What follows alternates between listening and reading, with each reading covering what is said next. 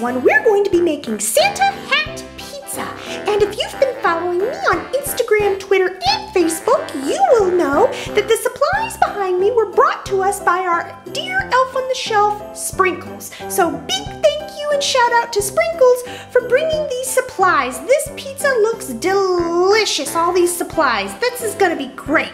So I decided to wear my Santa hat, my sparkly sequin one, in honor Santa coming tonight because uh, today is December 24th and Santa's coming and I'm so excited. So we've made him cookies and now we're going to have Santa hat pizza for dinner in honor of him. So anyway, Mom, show them what they need to know. Yes, ma'am.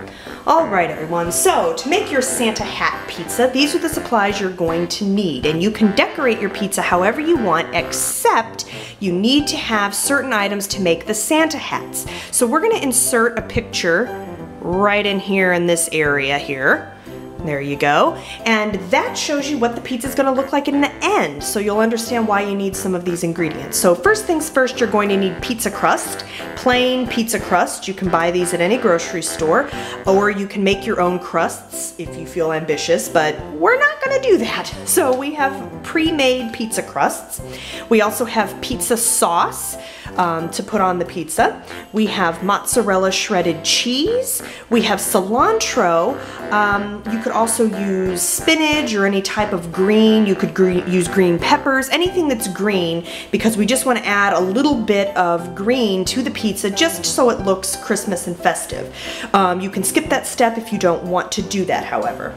You're also going to need, and this is pretty important, um, you could probably do this if you don't eat meat or if you don't like pepperoni you could probably use red peppers if you cut them up a certain way, and you'll see that in just a minute. But these are just regular um, original pepperoni. So you'll need pepperoni and you're also going to need um, a cheese stick or any type of solid cheese like this. This is just a mozzarella cheese stick and you're gonna see what you're gonna do with that in just a minute. So these are the two most important things to actually make the Santa hat pizza on top of all of this. So anyway guys, let's get started. So according to the Boboli pizza crust packaging, we have to heat preheat the oven to 450 degrees and remember guys, make sure you get your parents help when dealing with the oven or the stove or anything that could hurt you in the kitchen. So we're gonna turn this to 450 and we're gonna watch the flame rise in there. There it is. All right guys, so let's get started. So now that that's done, the oven will be preheating and we are going to decorate our pizza. Okay, so first things first, we're going to take one of the pizza crusts out of the package. This is a two pack, but Lambie and I are going to share this pizza here. So we're just gonna put that down like that, simple enough. The next step is to take our pizza sauce and we have ragu pizza sauce here so I'm going to load up the uh, crust with this. Hey Lambie, how much pizza sauce do you want? Not a lot, Okay, you don't like too much, do you? No, I like it light. Okay, she likes it light. Okay, so let me get a spoon and I'll get on top of that. All right, so we have a spoon here. We're just gonna scoop some of this pizza sauce out and she doesn't want too much, so we're going to put a light coat of the pizza sauce like this all over the pizza. Not too much. Alright, another version of pizza that we like is white sauce pizza. It's pretty good too.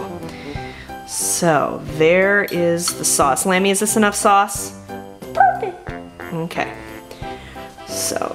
Perfect amount, she says. So now we're gonna move on to the fun part, which is actually decorating it. All right, so the next step is to add the shredded cheese. We have mozzarella shredded cheese here. Make sure your hands are clean and washed. And then we're just gonna take some out. Lambie? Yeah? How much cheese do you want? I want a lot. You like cheese, huh? Oh yeah. Okay, well, let's put on a fair amount of cheese, decent amount. Now, sometimes what you can do is put on a layer of cheese and then put on your pepperoni and your decorations and things like that. But this recipe in particular, you are not going to be adding any more cheese after you put on the pepperoni and everything. So make sure that you put as much cheese as you would like right at this point. Okay, so I have loaded that up with quite a bit of cheese. Moving on, the next step is we're going to add cilantro leaves. Like I mentioned earlier, you could add green pepper, spinach leaves, anything green, or you can just leave the green out if it's not that important to you. But we found the cilantro, we like cilantro. So we're going to add a few leaves of the cilantro to the pizza. And this is just so it is festive for Christmas. That's all this is, is just to give it a little bit of green so it's a little more festive. All right, so we have added in some cilantro for the green. Now we are going to move on to the part that is the coolest part of the whole thing, which is actually what we're going to be doing is making the Santa hats to put on the pizza. So let me show you how that works. First, get a clean pair of kitchen scissors, or you can use a knife. Um, if you're going to be doing anything like this in the kitchen, make sure you get your parents' help. First, we're going to open up the pepperoni and we're going to take out some slices take out quite a few because I want to show you how to do this. Alright, so here you have your little slices of pepperoni and they're just little regular circles, right? Well, what you need to do with your kitchen scissors, and the reason I told you to grab them, is because you are going to cut them like this. And you're going to cut them so they're like triangles. So basically right now, you are making Santa's hat. So you just cut off two angles and it creates like a hat. So we're gonna lay that right there. And then we're gonna continue to do that for a few more pieces and you'll see what it looks like. So as you can see, I have cut the pepperoni into triangle shapes and now we move on to the cheese stick. Now the cheese stick or any other type of cheese that's solid is what is going to create the white fluff around the bottom of the hat and the white ball at the top of the hat.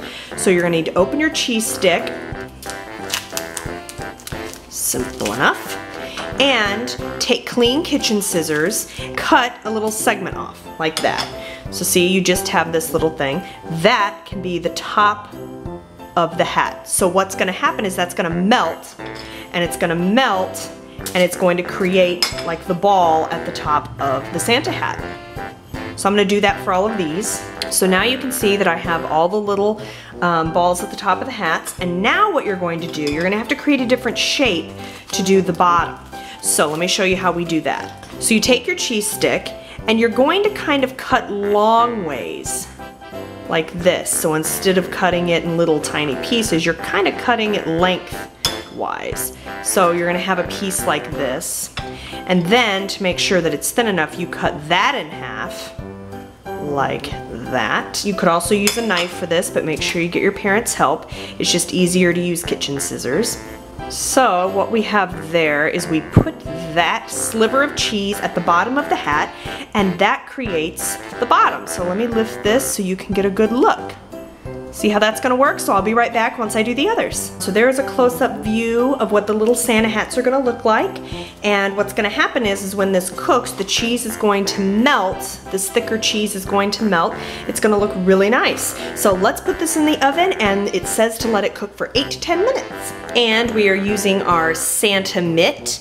So we're going to take the pizza, we're gonna open the door, just like that close the door, and we have to wait 8 to 10 minutes. Alrighty guys, we opened the oven just for a second for you to see the progress of the pizza. So check it out. They are going to look so adorable. This is the best pizza idea ever. Aside from the time that we made Lambie head pizza, that was pretty awesome. If you guys haven't seen that video, I'll link it below in the description box. I made a pizza of my head one time. Mom, out so it doesn't burn. All right, well, Lambie, I need you to move because I gotta get in there. Okay, all right, I'm out of the way. I'm out of the way. I'm out of the way. I'm out of the way. There is the pizza. Oh, Mom, they're squished. Well, hold on a minute. Alrighty guys, so there is our Santa hat pizza. I think we cooked it a few minutes too long. We should have cooked it eight minutes instead of 10, because then I think that the cheese and the hats would be more distinct. But you can still tell that they're Santa hats, and I think it's fabulous. So let's let chow down on this, Mom. So you're ready to eat it? Absolutely, Mom. Yum, yum, yum. Cute little Santa hats, guys. Have you guys ever made Santa hat pizza? Do you like this recipe? Do you like pizza? I sure do. Leave me a comment below and let me know what you think of this video. Also be sure to subscribe because I have more videos coming and follow me on Facebook, Twitter, and Instagram because I'm on there quite a bit. So anyway guys, I'm gonna go eat this yum yum yum. Yeah, yay Santa, this is in honor of you. Anyway, I'll talk to you next time. Bye guys, and thanks for watching.